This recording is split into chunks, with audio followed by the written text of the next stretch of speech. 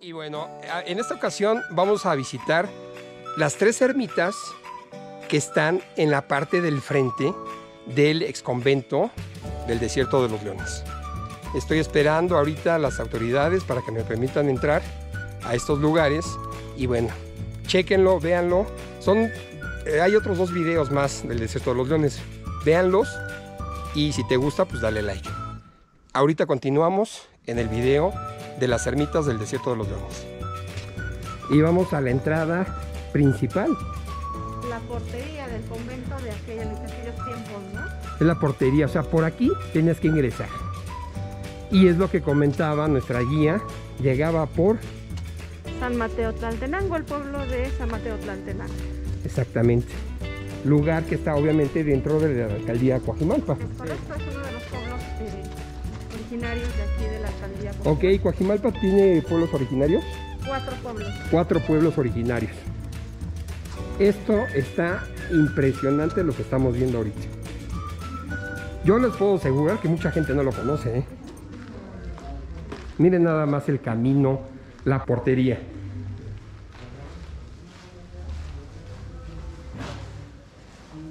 O sea, entras por el bosque. Así de fácil. Entras por el bosque. Yo creo que aguantaría hacer un video más de entrar de este pueblito que se llama... Eh, San Mateo Tlaltenango. Desde San Mateo. Y vean qué maravilla del lugar. Obviamente la gente es feliz aquí con, su familia, con sus mascotas de este lado del, de este lado obviamente del bosque. Aquí sin ningún problema traerlos a, a sus animalitos y que pasen de este lado. Mira nada más esto.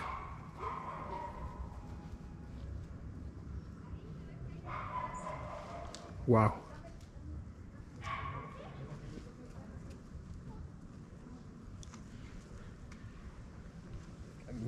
No, está increíble este lugar, ¿eh?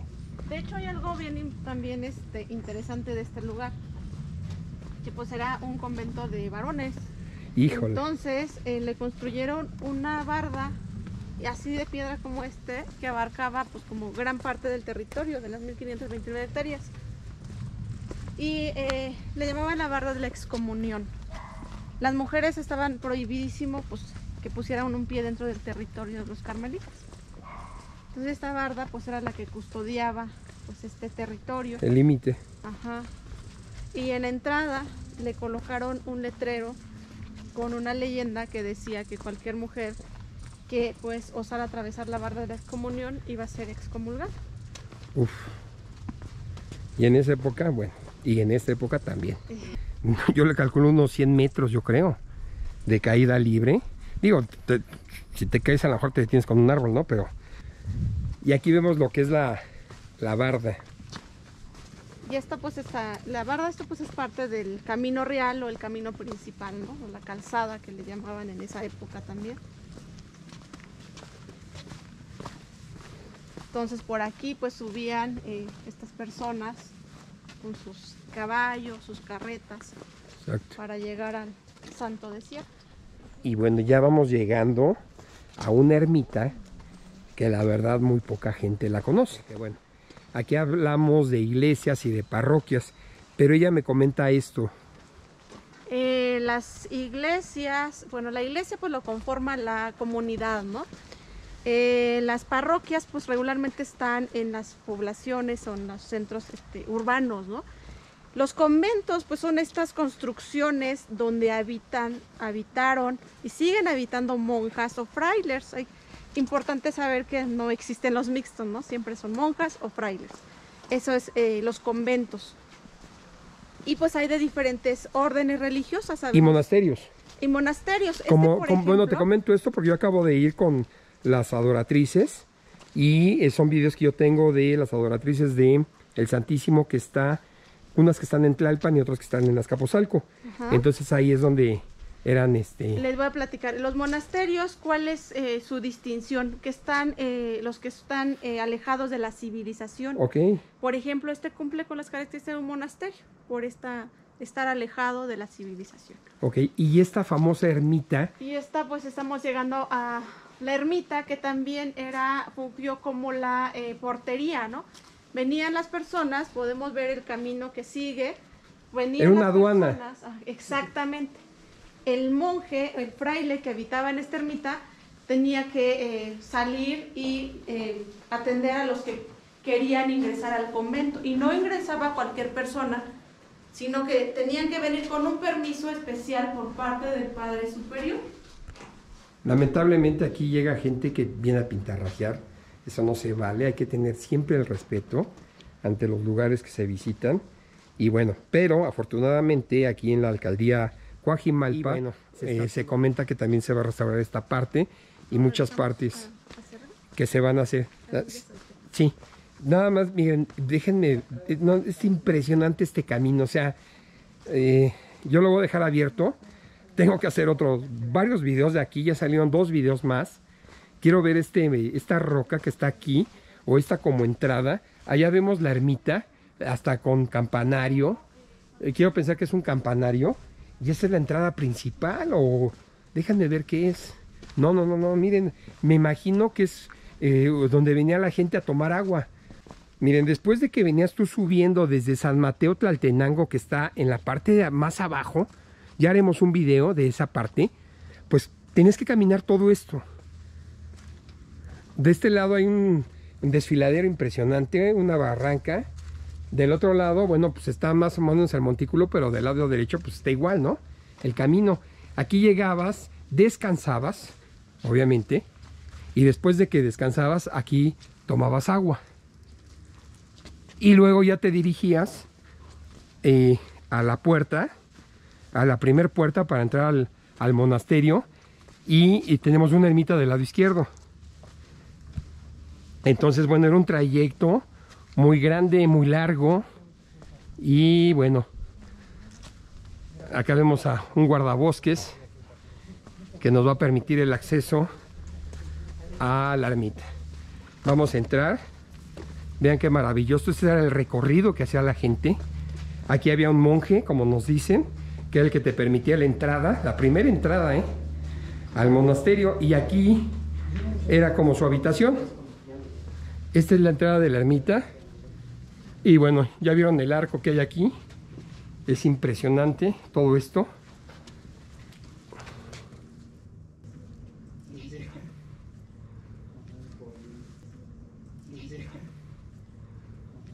Y ahorita nos van a permitir el acceso a la ermita.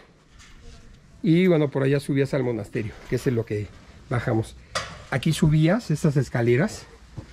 Aquí pasabas a, al primer piso. Y luego esta es la ermita.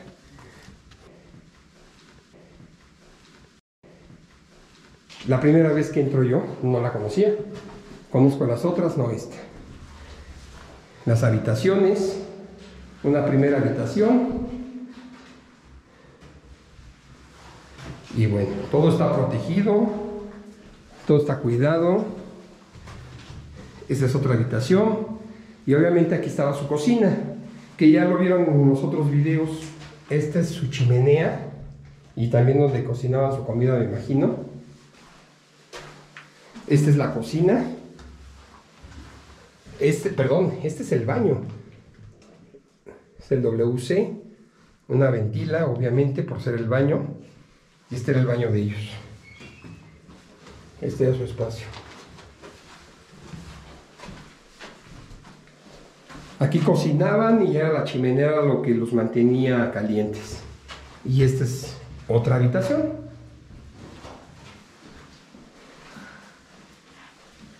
La vista que tenían aquí. Y esta parte que es hacia arriba. Pues miren, vamos a ser afortunados de poder pasar. Vean, este es un espacio, un patio que tenían ellos. Aquí está el camino de, piedra. Es impresionante este lugar. Me imagino que aquí cultivaban algo ellos para comer. Era su huerto. Era el huerto, exactamente. Miren, digo, no estaba tan perdido. Este era el huerto de ellos. Aquí eh, sembraban para lo que ellos comían. Y es un lugar padrísimo, este lugar. Los acueductos por donde traían el agua. Exactamente, miren, vimos una toma de agua. Ahorita me comenta aquí mi guía que estos son los acueductos de desde venía el agua desde allá arriba, obviamente. Claro. Les mostré hace rato donde estaba el bebedero de agua. Aquí llegaba como un pocito, un recipiente para ellos de agua. Pero yo me imagino que tenía algún por ahí atrás o de aquí, eh, internamente, corría el agua para darles el, la, eh, darles de beber a la, gente que venía. Ah, pues aquí va, miren. Aquí viene, aquí viene el lugar. Aquí están los vestigios de que corría el agua y llegaba a la parte que les mostré. Me voy a acercar, me voy a asomar y llega hasta allá, miren. Ahí se ve, aquí en esta parte, se ve justo aquí. Se ve justo donde llegaba el agua y bebían los viajeros.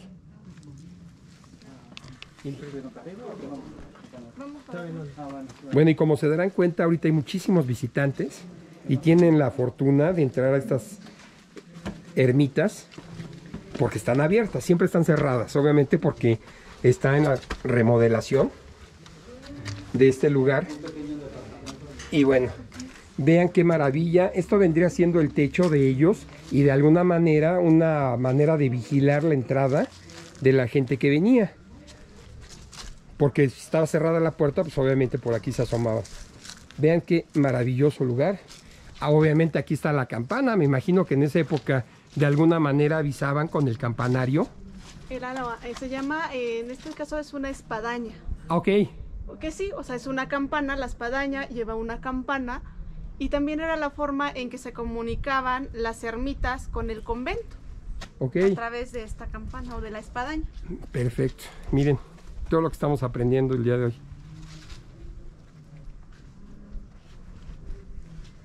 Maravilloso lugar, estamos en la parte alta. Allá está el tiro de la chimenea. Y bueno, este lugar está maravilloso, está impresionante. Obviamente aquí sí puedes traer a tus mascotas sin ningún problema. Estás, estás este, fuera de, del ex convento y sin ningún problema. Y bueno, padrísimo lugar, vamos para abajo.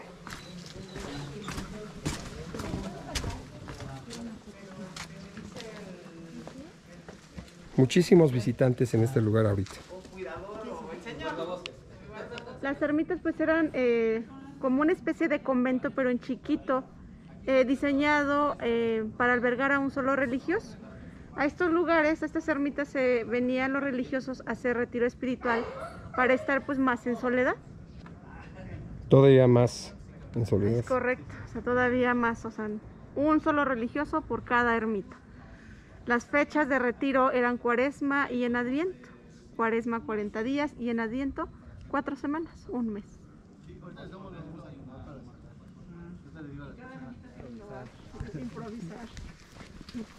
Y bueno, ya tenemos aquí en, este sentido de, del recorrido que mucha gente, bueno, un grupo de gente ya se nos integró al equipo de recorrido.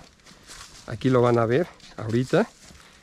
Todos vienen visitando este lugar y conociéndolo. Algo padrísimo, algo que nada más los que están viendo el video y los que vienen aquí conmigo lo estamos disfrutando. Porque a veces, bueno, aquí vienes y, y pues no sabes qué hacer. Entonces para eso es mi video, para que vengas, ubiques los caminos y conozcas. Allá por adelante va nuestro guardabosques.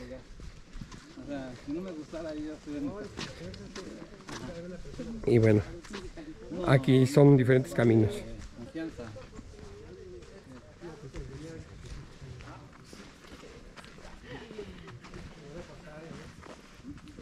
No era para ti, yo creo.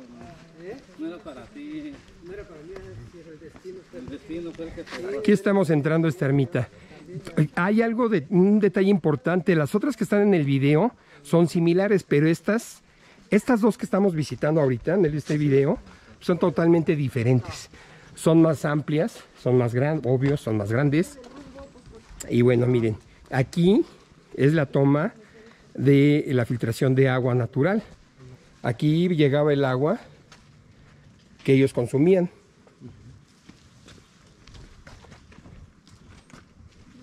Ahí está la entrada del agua que viene del bosque.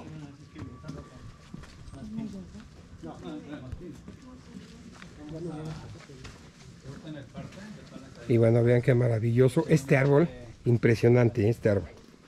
Los años que ha de tener este árbol.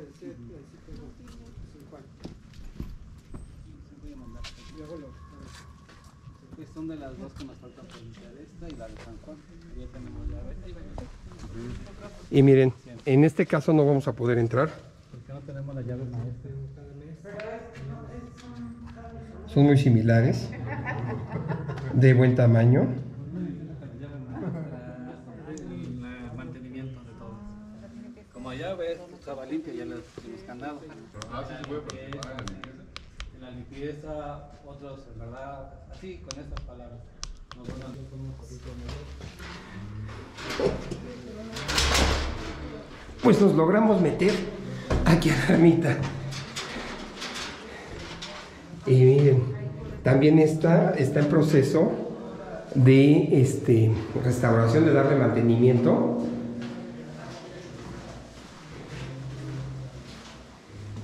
Tiene su patio trasero, está padrísimo este lugar.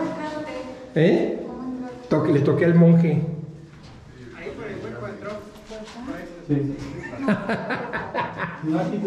Y bueno, miren nada más esto. Aquí está el espacio, está un poquito más iluminado. Esto sería eh, su baño de ellos. Aquí se aprecia perfectamente bien. Y la chimenea. Entonces, bueno, genial este lugar. Fabuloso. Y bueno,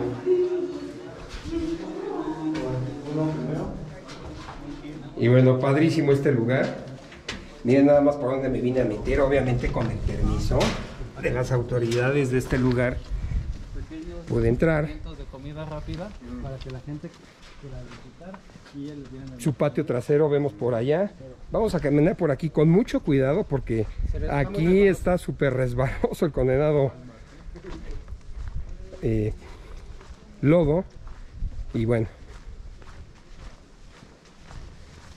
te vienes con toda la familia a hacer el recorrido. Vemos todo el lugar hermoso.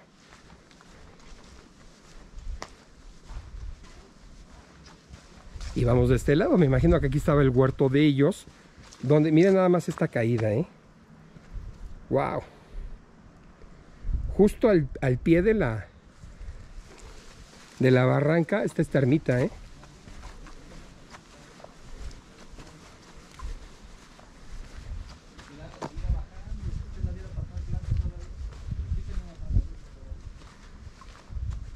Aquí está un poco deteriorada la barda.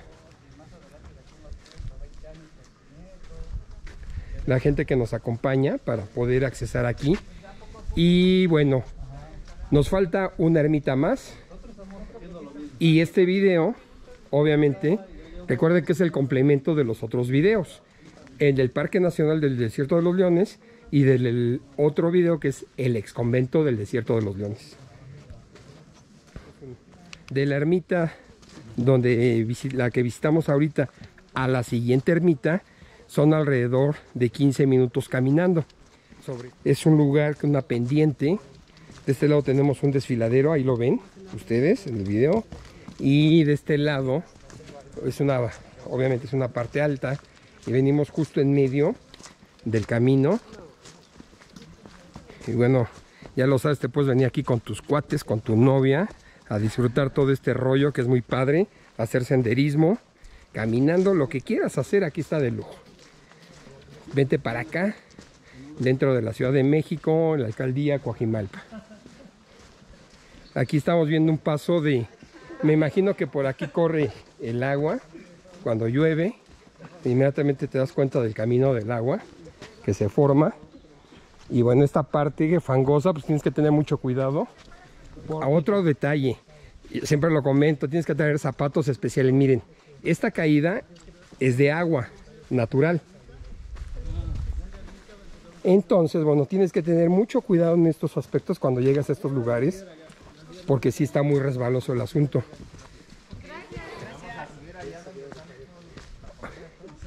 Obviamente todo el camino te encuentras gente con la familia, caminando, conociendo.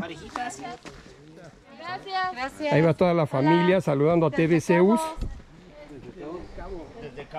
Ah, que hubo desde Cabo San Lucas. Miren nada más.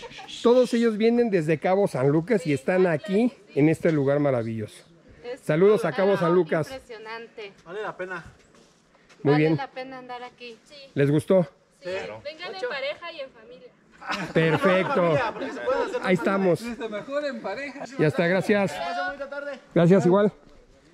Fíjense nada más, desde Cabo San Lucas vinieron a visitar este lugar, ¿eh? Y están maravillados. ¿Esto qué es? Un ojo de agua. Aquí como una pila también. Donde se alimentaban según lo que dicen los caballos cuando venían. época. Ok, Es un bebedero muy grande. O también venía la gente a, a tomar agua, ¿no? Porque el camino era difícil en estos, en esa época. Y bueno, todo lo que viene uno conociendo, eh, aprendiendo. Todo esto es padrísimo, todo este lugar. Y miren, esto es impresionante. eh, las caídas que, que hay aquí. Estamos en, en un sendero natural completamente.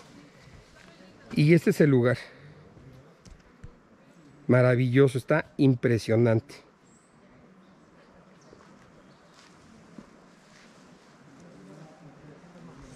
Y bueno, vamos a continuar caminando. Ahí va el grupo de, de guías y de personas que nos vienen acompañando. Ya estamos viendo el camino. De hecho, ya la vimos. Ya vimos la ermita que está ahí en la parte. No sé si se aprecia en el video. Pero, ¿dónde está? Aquí está la ermita. Ya vamos llegando a la ermita. Es un lugar maravilloso el que estamos recorriendo.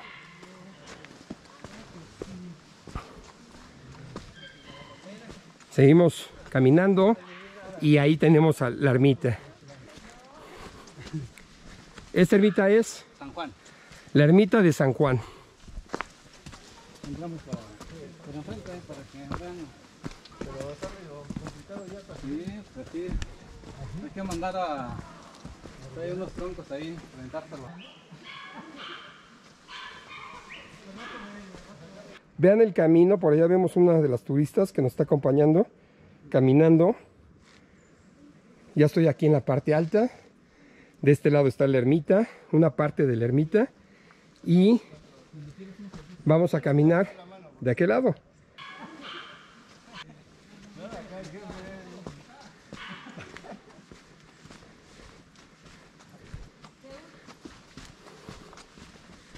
De este lado vamos a subir entre las rocas porque el acceso de esta ermita está medio complicado.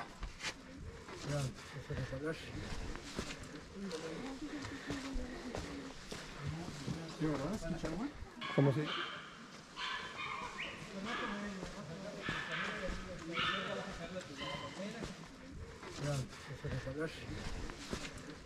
Este es el espacio que estamos visitando ahora.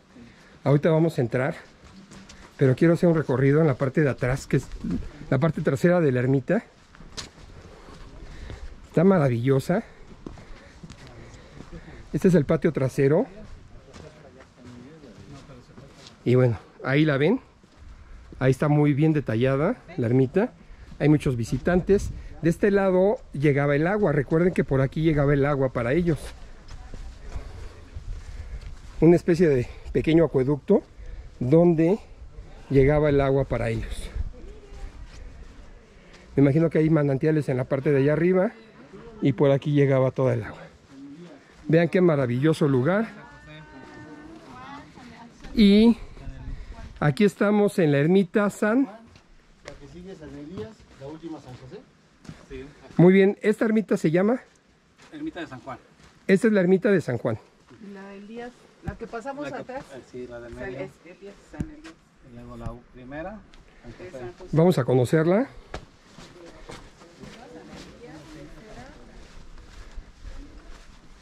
Ya nos abrieron. Tenemos acceso.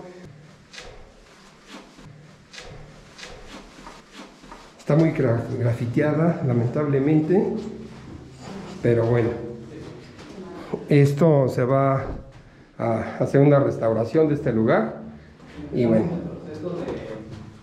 de, mantenimiento. ok, está, eh, me comentan que es un proceso de mantenimiento el que se va a llevar a cabo aquí para tenerla en óptimas condiciones y que todos los visitantes pues la puedan apreciar y puedan ver lo, hermoso que es este lugar.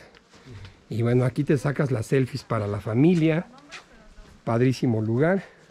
Obviamente aquí sí puedes traer a tus mascotas, aquí no hay problema, estás en el bosque,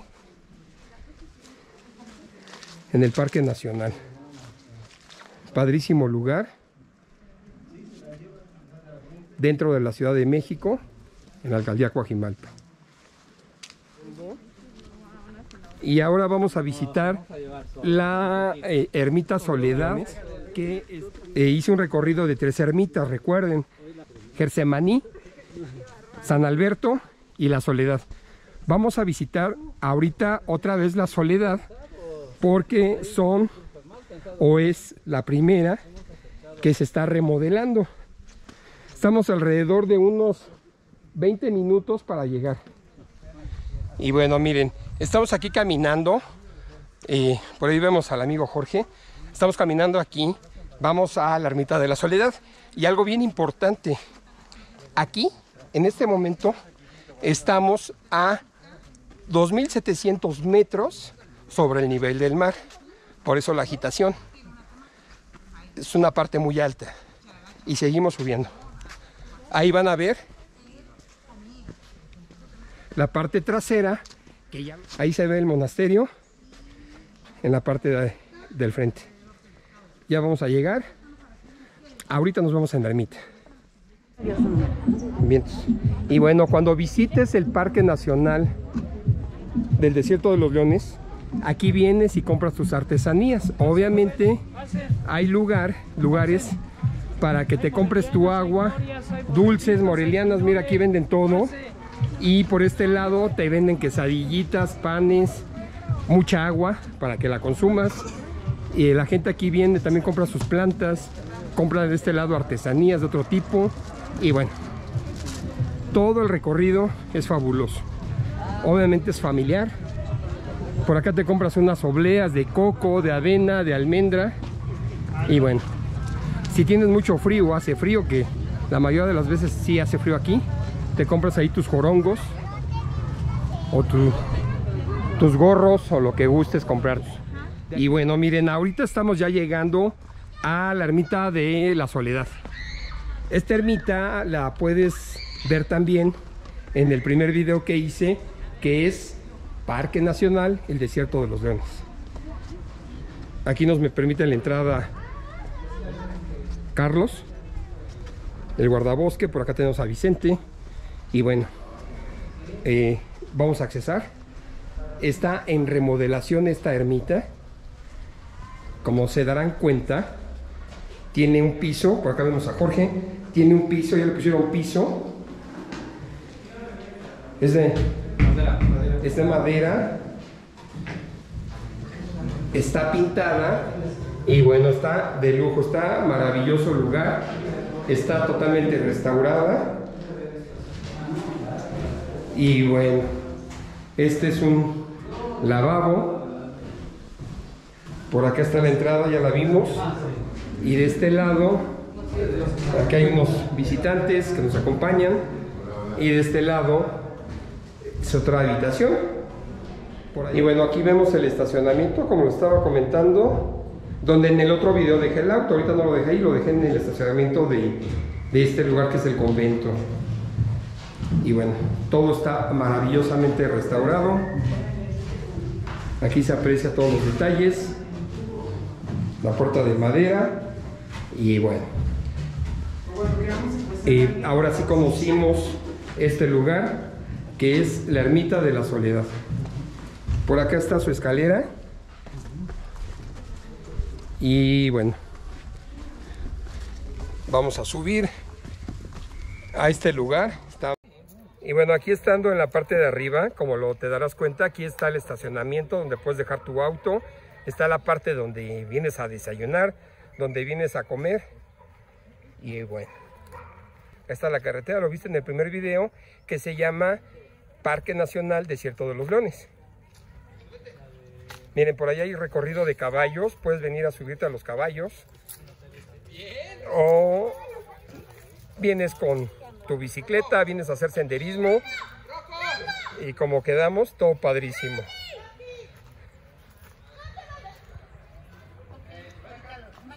Buenas tardes, estamos aquí en la Ermita de la Soledad.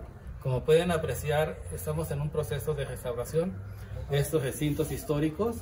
Hablamos de 10 aquí en el Parque Nacional y ya tenemos hasta el momento 8 restauradas y nos faltan 2. Los invitamos a que participen en estos programas de mantenimiento a todo el público y pues agradecer si el día de mañana estén por acá. Ahí la administración está abierta para todos ustedes.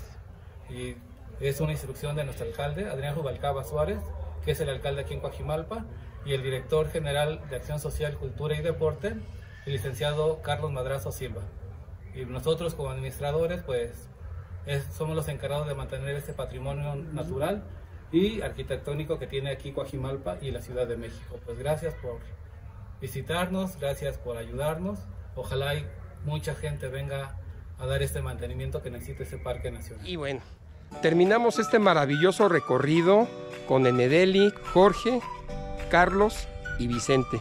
Gracias por sus atenciones, gracias por permitirme hacer esto, esta serie de videos. Es maravilloso este lugar. Los invitamos a que vengan a conocer este parque, su parque, su patrimonio eh, cultural, nacional. Aquí estamos, vengan para que se disfruten un poco del aire libre de contaminación. Y pues bueno, en nombre de los trabajadores de la alcaldía, pues les damos las gracias. Y bueno, ya lo sabes, visita este lugar, está padrísimo. Dale like a mi video si te gusta. Son varios videos aquí en el, en el Parque Nacional del Desierto de los Leones. Y bueno, nos vemos para el siguiente video. Ahí estamos. Gracias. Pues vamos a comer en esta ocasión nuevamente con Linda. Bueno, estamos aquí otra vez con Laura, con estas exquisitas galletas de Laura. Te voy a tomar un paquetito, Laura. Siempre lo he dicho que tenemos que venir a estos lugares cuando los visites, tienes que apoyar a toda la gente, toda la vendimia que hay. Y bueno, estas galletas de Laura son deliciosas.